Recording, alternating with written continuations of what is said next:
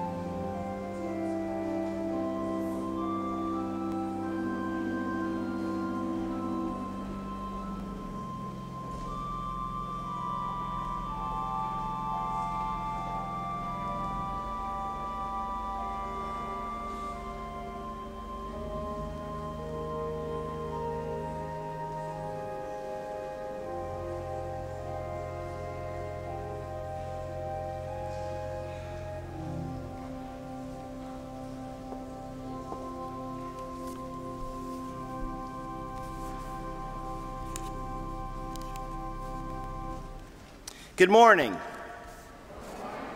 Welcome to Centenary United Methodist Church.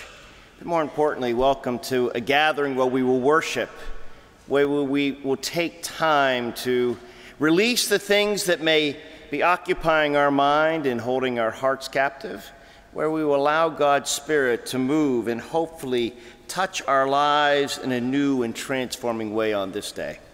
If you're visiting with us today, in fact, I invite all of you rather, to uh, please find the fellowship folders in each aisle or each pew.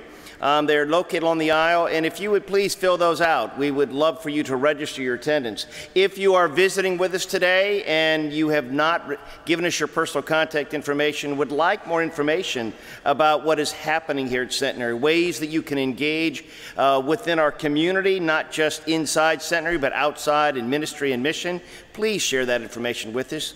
We'd love to be able to share with you the opportunities that exist. And if you're joining us by live stream, we welcome you as well and ask that you would please scroll to the bottom of your screen and also register your attendance. There is a note there, a box rather, where if you have any questions you'd like to share with us, please give us that information and we will indeed respond. You'll notice in your bulletin that we have a flyer this week that's advertising a pretty exciting event in two weeks. We will not be gathering here to worship. We'll be at Tanglewood under shelter number four. It begins at 10:30, worship at 11. Afterwards, we will share lunch together. Uh, on the back of it is not we're just going to be joining to celebrate and worship on World Communion Sunday.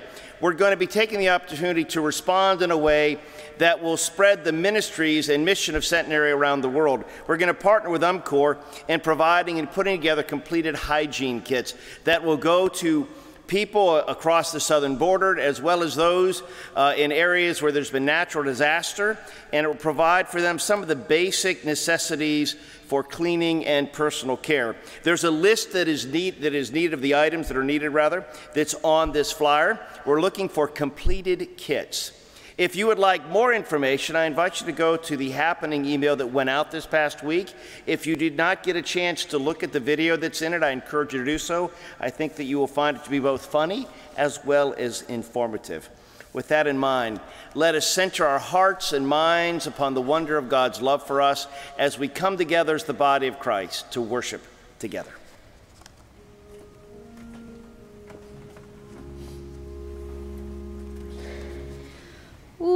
Ukuthula Ukuthula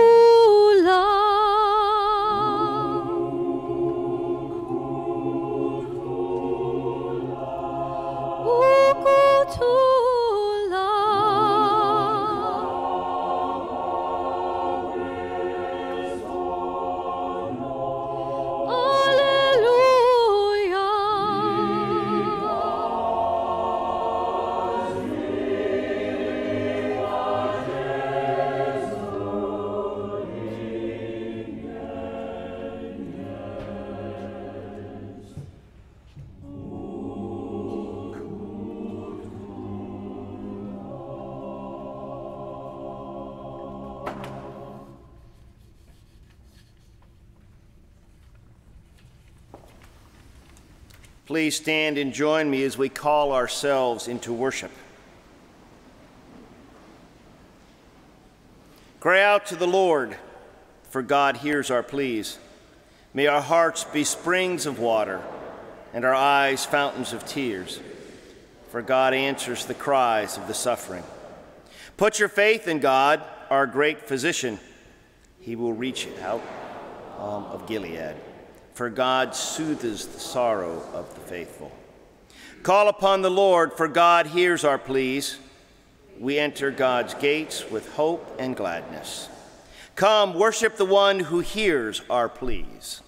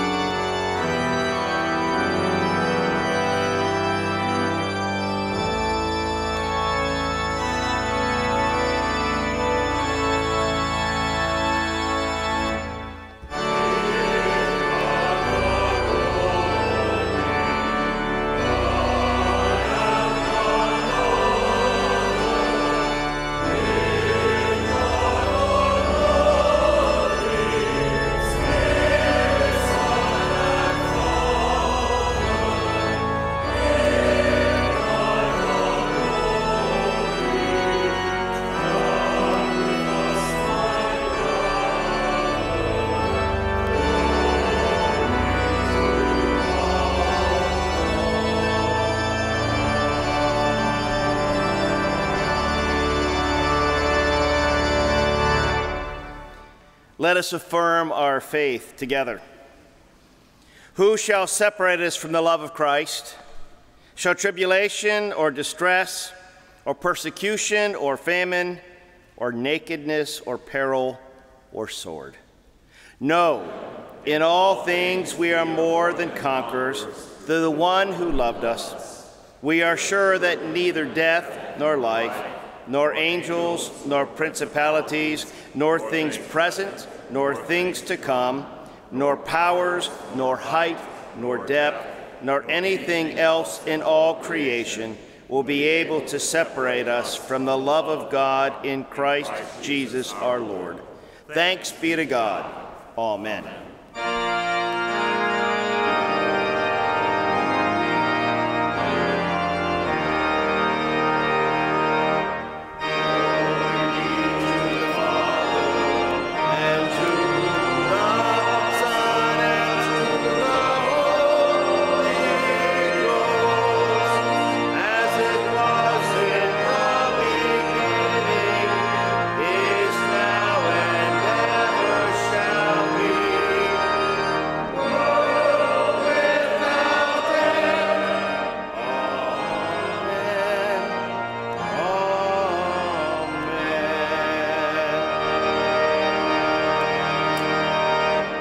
Please be seated.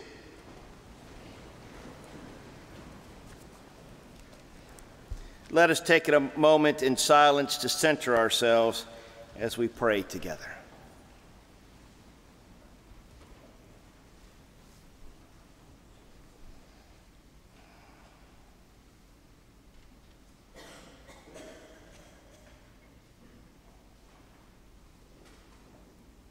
Gracious and merciful God,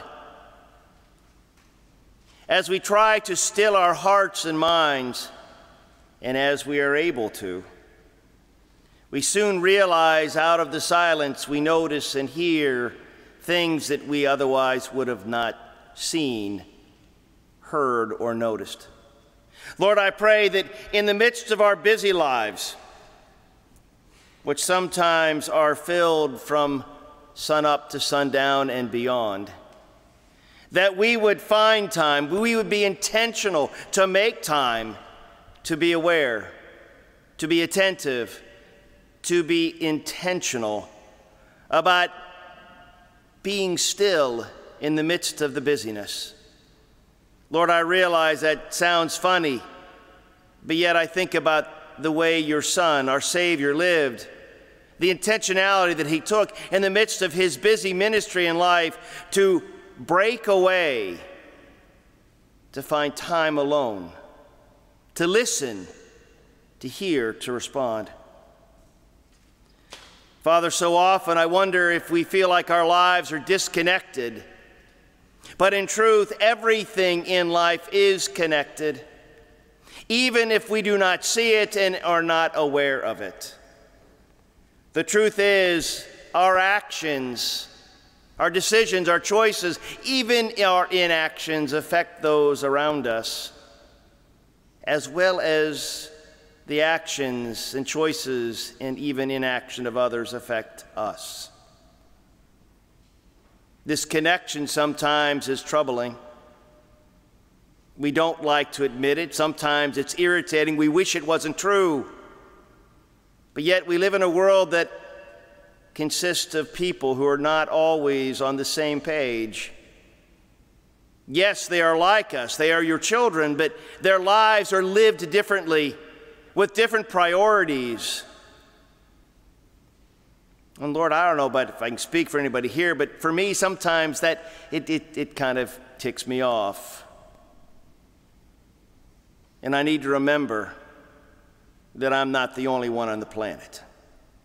Lord, I pray that that would be true for all of us. And, and the key to understanding that is to go to you, to be still and to pray, to trust and to learn.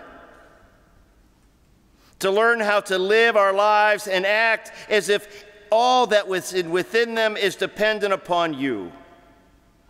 And then learn to pray as if all within our lives is dependent upon us and our trust and belief in prayer. Lord, we ask that you would give us grace, you would give us mercy, you would send your truth and your love to surround and hold us, that we would be vessels, vessels of light and love to those around us because we have grounded our lives in you.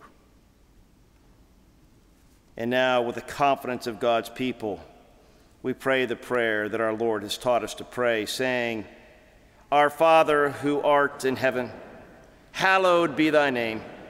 Thy kingdom come, thy will be done on earth as it is in heaven. Give us this day our daily bread, and forgive us our trespasses, as we forgive those who trespass against us. And lead us not into temptation but deliver us from evil. For thine is the kingdom, and the power, and the glory forever. Amen. This time, I'd like to invite our children, ages kindergarten through third grade, to come forward and meet Reverend Kate May at the altar, altar rail rather, and that they would come and go out to Children's Church. And while they're doing that, I invite you to stand and turn to page 496 for our hymn, Sweet Hour of Prayer.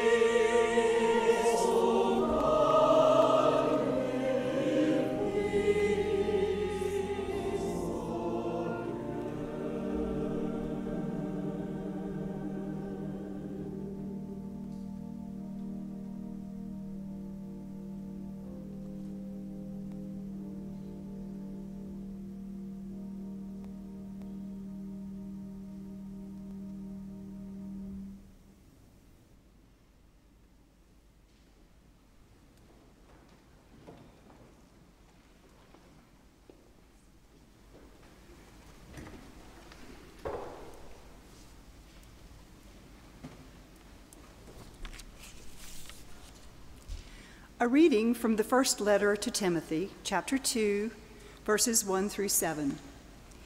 I urge then, first of all, that petitions, prayers, intercession, and thanksgiving be made for all people, for kings and all those in authority, that we may live peaceful and quiet lives in all godliness and holiness. This is good and pleases God our Savior, who wants all people to be saved and to come to know a knowledge of the truth. For there is one God and one mediator between God and mankind, the man Christ Jesus, who gave himself as a ransom for all people. This has now been witnessed to at the proper time. And for this purpose, I was appointed a herald and an apostle.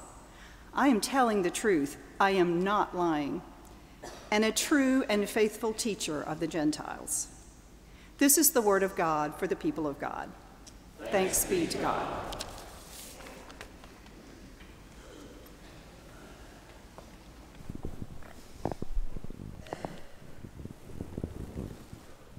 Would you pray with me?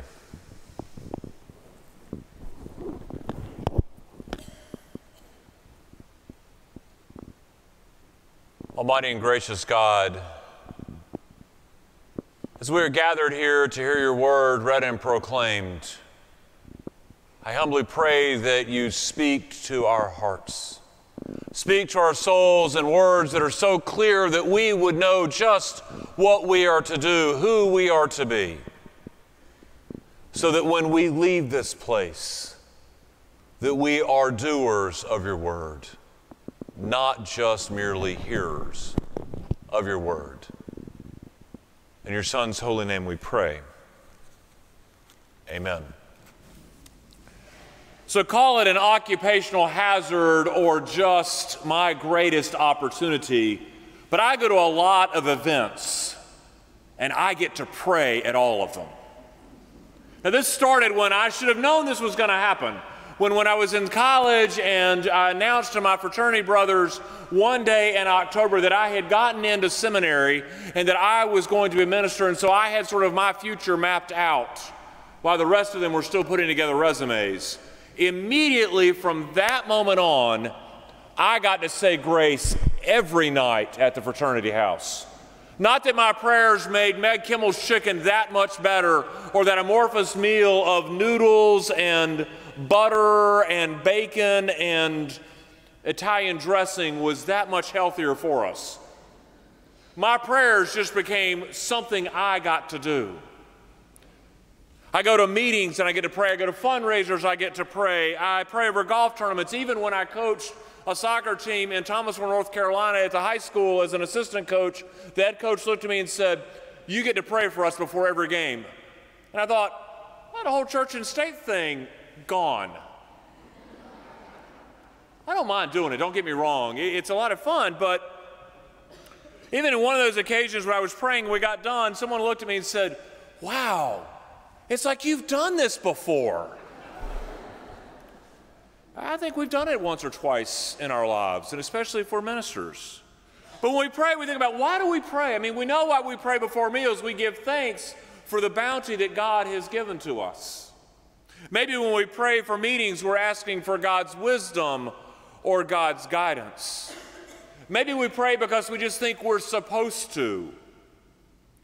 I think we pray because we think it makes a difference. Whatever it is that we're praying before, we think that if we invoke God's presence, God's Spirit, God's focus on that assembly, that it will make a difference. You see, when we pray, we're doing something very specific. It's a very specific act of hope, of faith, acknowledging God's power in the world around us. When we pray, it's a very specific ritual that we do, is it not? So we have Paul, he's writing his letter to Timothy, a young minister that he's mentored. And so Paul is writing him again, sort of in the role of this father of faith, this wise elder, this mentor to his protege. He's instructing Timothy how he, as a young minister, should lead the church he's been charged with. It's a letter that every young ordinand should pull off and read several times as they go into their new church to think about this. But what I love in the section that we read today that Camille shared with us is that Paul is telling Timothy to pray for all people, but especially for the rulers and the authorities of the land, to pray for godliness and for the gospel message. This belief that Christ is our mediator and hears all of our prayers and answers them according to God's will, that our prayers can make the world a better place. But he's not just writing to Timothy, is he? He's really writing to us.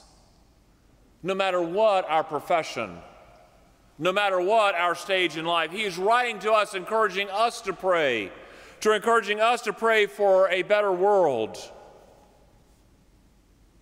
And for that to happen, we too can heed Paul's words to pray for our leaders to pray for the world in which we live, for our society, and to pray for all of God's children to come into relationship with Christ.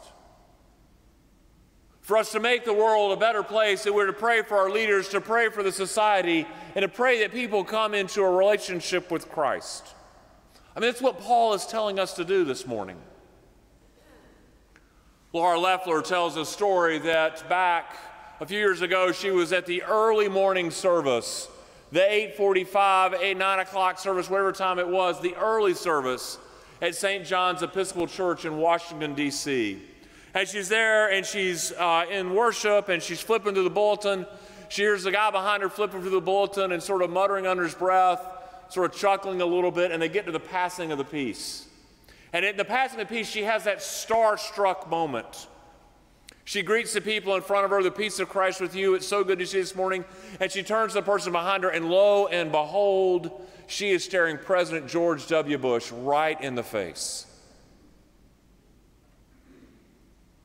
The peace of Christ with you, she says. He says it back to her, and just before they go to communion, because they passed the peace and then went down the aisle for communion, she said, Mr. President, I want you to know that I pray for you every day. And he smiled warmly and he said, Thank you so much. That is such a special gift that you give me. Thank you so much. You see, he spoke the truth because to be prayed for is a special gift. But I think it's vitally important to be praying for the leaders around us, for leaders in all aspects of our lives. I mean, we know that organizations, businesses, governments, countries, they all take their direction from the person at the top. Those leaders bear a tremendous burden of responsibility to set the tone, the vision, the culture of whatever unit they are leading. And so, if we come in this room thinking and knowing in our heart that prayer has power, imagine the power we yield the power we ask to be poured upon our leaders, the difference and the impact we make in their lives when we pray for them, when we pray for our parents, for our spouses, for our business partners, for our bosses, for the CEOs of the companies with whom we work, for our government leaders for the leaders of our church. Think about the power that we yield and that we bring upon all in society when we pray for those leaders.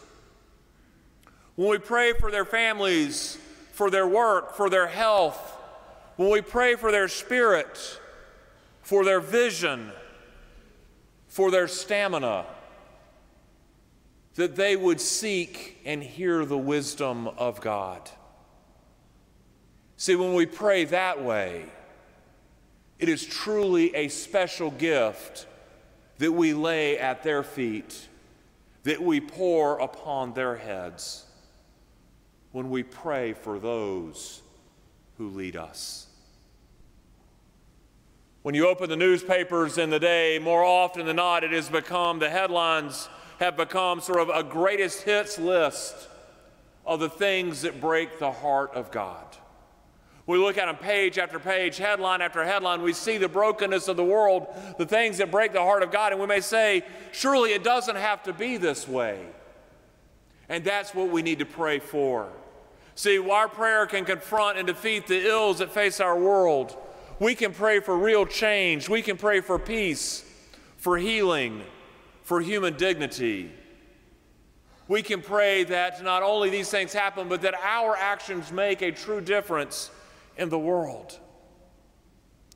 We can pray that our hearts are listening to where God is calling us to live, to work, and what to do. That's on a macro level. But on a micro level, on a personal level, our prayers make real change and a difference. Think of the people in your lives, in your closest sphere of influence. Think of the people who are broken and or who are hurting physically, emotionally, relationally, spiritually, mentally. Think of the brokenness and the unease and the illness that's in there. You see, we can make a difference in their lives when we pray for them, when we lift their names up to the heavens and say, God, you are the great physician, only you can heal them.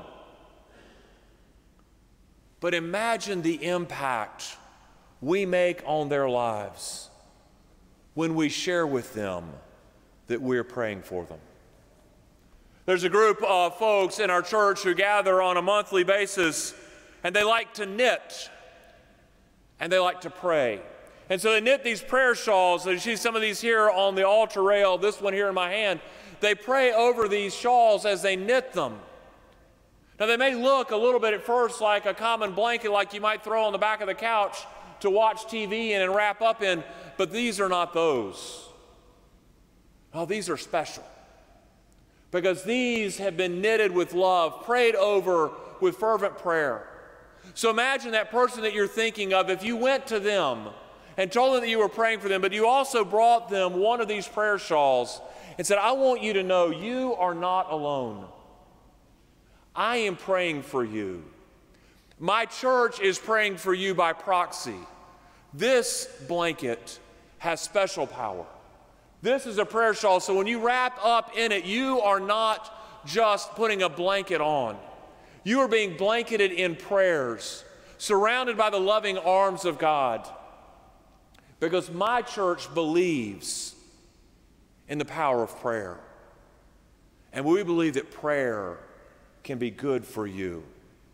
You said, see, we have these prayer shawls. Anyone can take it. You don't have to take it for a church member. You can take it for a friend, a neighbor, someone in need. We've got some here on the altar rail today. If you have someone in your life for whom this would be a great benefit, to be wrapped in the arms of God and showered in prayer, pick one up at the end of worship. Take it to them. Tell them you are praying for them. Your church is praying for them. If maybe today you don't know of someone, but next week you do, all you have to do is go down to the parlor here on the first floor of, this, of the sanctuary building, to go down there, and in the chest there are a whole slew of these. Pick one up, carry it to them, and say, I am praying for you. We are praying for you. Because when we're praying for each other, it is truly a special gift that we give. The band U2 is one of my favorite bands, and they've got a song out of their Joshua Tree album that I love so much.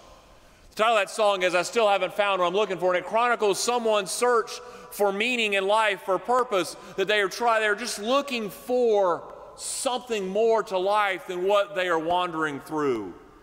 See, I think there are people in our community and people around us that are doing that as well. They're searching for meaning, for purpose, for community. What I really think they're searching for is I think they're searching for a relationship with God. They're searching for belonging. Maybe you know who that person is. Maybe you know someone in your life that's doing it. They're struggling to find grace, struggling to find meaning, struggling to find forgiveness or love. Have you prayed for them that they would find that one thing you know, that relationship with God? Have you prayed for them that they would realize that God loves, for, loves them, cares for them, and that God is waiting with arms wide open to say, Welcome home, and that there is a place at my table for you? Every once in a while, I have someone come into my office and they say, I don't know what to do. I don't know what to do. I'm praying for my adult child. They're lost in the world. They seem to be lost. I know what they need is they need that relationship with God in this house they grew up in. They need to be back with God again. What do I do? I say, keep praying for that. Keep praying that their heart will be open, that they will realize that God is standing there with the door open, waiting on them. Keep praying for that. But the good news is that our God in heaven plays the long game in life. God is playing the long game with society ever since creation. God has played the long game with you and with me, waiting for us to say, You are my God, and I am your child. And it will do the same thing with yours. All we can do is keep praying for that person who still hasn't found what they're looking for. We keep praying for them and lifting their name up. God will open their eyes at the right time. See, when we pray for them, it's truly a special gift. See, prayer is that specific action. It's a thing that you and I do. It's the utterances of our hearts. And it is, as the president said, a special gift. It costs nothing from us but our time, our focus, and the willingness of our spirit.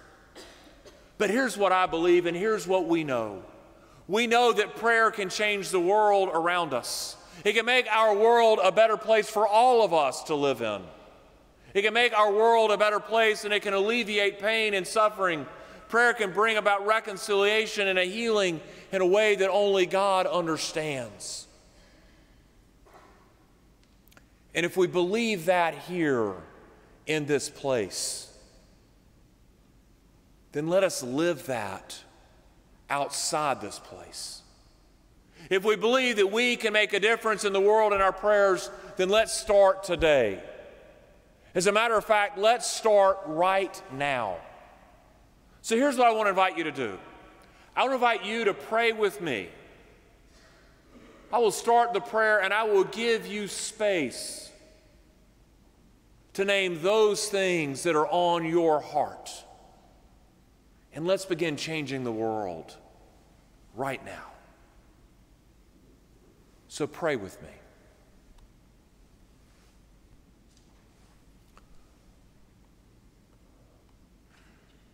Oh God, we are your children. We are your followers. We believe that you can move mountains, that you can divide oceans, that you can deliver your children from captivity to freedom.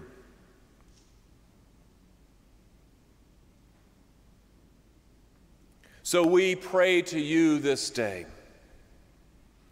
We pray for the people of this congregation.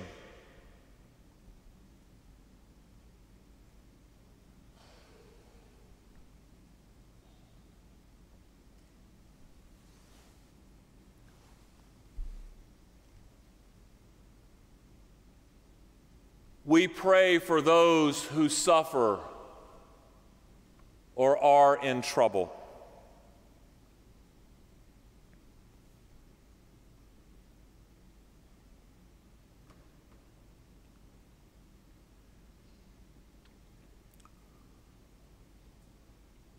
We pray for the concerns and issues in our community.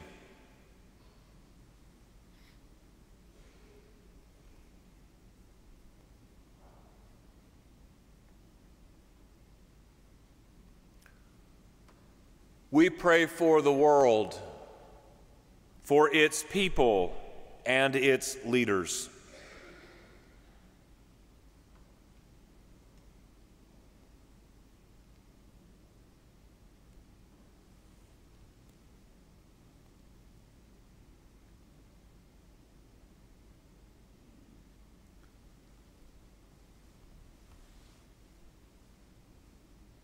We pray for the church universal, its leaders, its members, and its mission.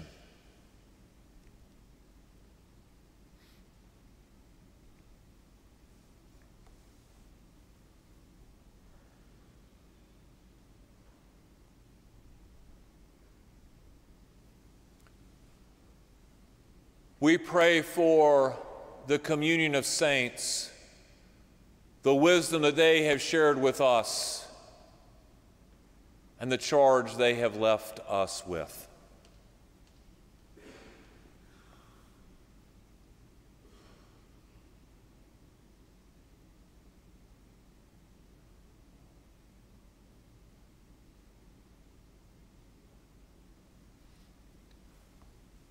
Lord, in your mercy, hear our prayers. Amen. So we started just now, but it's not over. I ask you to join me this week in praying that prayer every day. Whether you pray first thing in the morning or in the middle of the day or at the end of the day, I challenge you and ask you to join me in that prayer every day this week. And let's open our eyes and see the difference our prayers make. The difference the prayers of a thousand of us make in our world this week. Because that's the gift that truly keeps giving to the world. Amen and amen.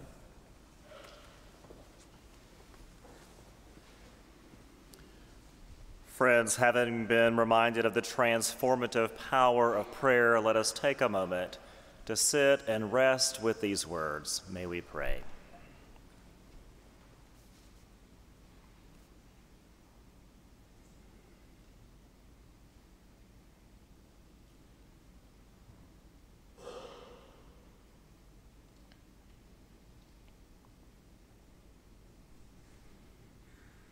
Almighty God, by your grace, keep us in constant conversation with you through all of our prayers. And may the exchange and the conversation that we have change the world. Through Jesus Christ we pray. Amen. As our ushers come now to receive our tithes and our offerings, might we be mindful that just as prayer changes the world, so does the generosity of God's people so might we share with generous and grateful hearts this morning as we give back to God out of what God has so graciously given to us.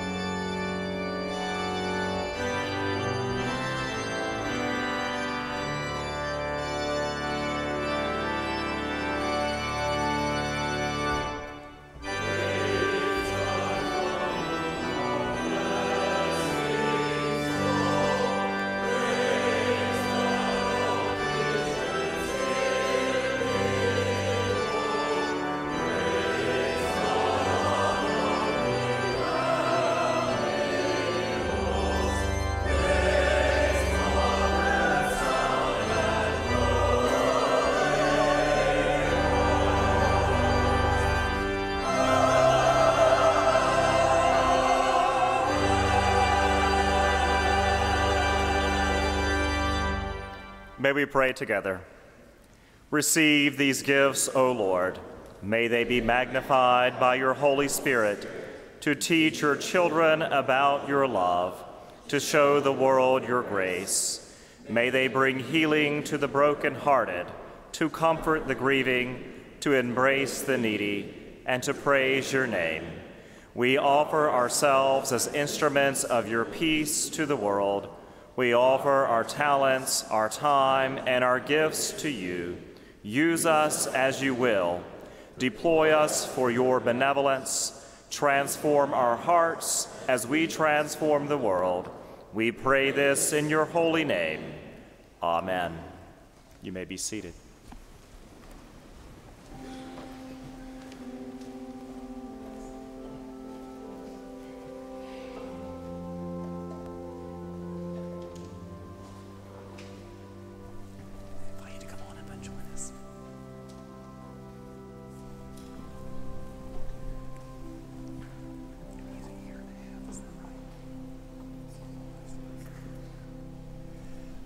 Well, friends, this morning we continue to celebrate God's grace and God's goodness as we receive new members into the church family here at Centenary. So, allow me to introduce to you our new family members. This is Bryant and Tanya Johnson. They come by reaffirmation of faith. And they also have Preston this morning, who is almost a year and a half. looks like he might be a little sleepy or shy. Either way, I was shy as a kid and I came out of my shell eventually. It does happen. Glenn has a couple of questions to ask you this morning. So, as members of Christ Universal Church, you be loyal to the United Methodist Church and do all in your power to strengthen its ministries? If so, say, I will. And as members of this congregation, will you faithfully participate in its ministries by your prayers, your presence, your gifts, and your service? If so, say, I will. And to you, my brothers and sisters, we welcome this new family. And so I commend them to you to your love and care. Do all in your power to increase their faith, confirm their hope, and to perfect them in God's love. And so we respond together. We give thanks for all that God has already given you, and we welcome you in Christian love. As members together with you in the body of Christ and in this congregation of the United Methodist Church, we renew our covenant faithfully to participate in the ministries of the church by our prayers, our presence, our gifts, our service, and our witness. that in everything God may be glorified through Jesus Christ. Amen. They will be in the narthex following the worship service with Glenn, so we hope that you will stop by and officially welcome them into the family here at Centenary. We are so grateful that you all are making your church home here with us, and uh, it is our hope and prayer that the God of all grace will continue to bless you with grace upon grace so that you will continue to grow in your love for God and love for neighbor. Welcome to Centenary. Thank you.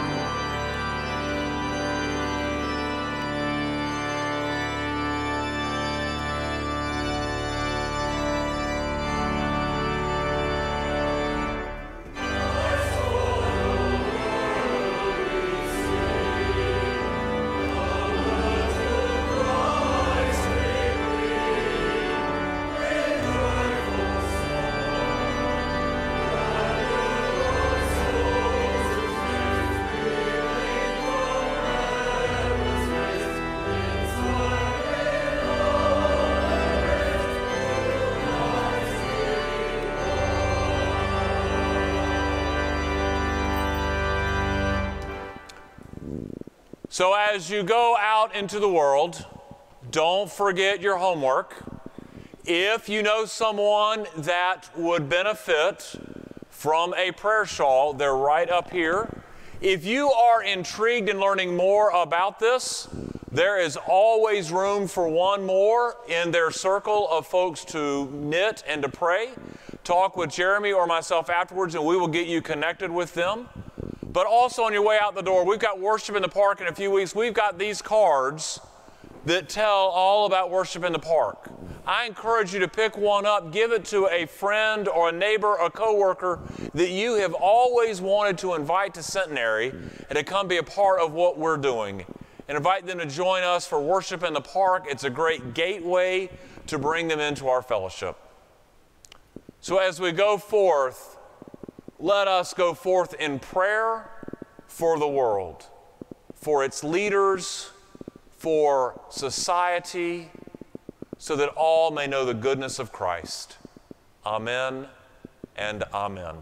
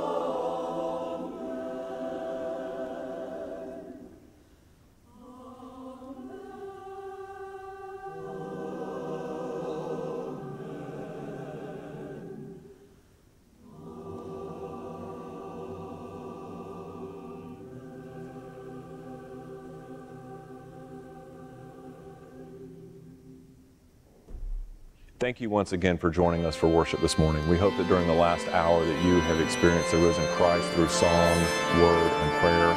We hope that it's enriched your life so that as you go forth this week and the days to come, that you will take the lessons and the things that you've learned and sung and heard here and are able to carry them forth, enrich your relationship with God and your service to all of humankind. Blessings.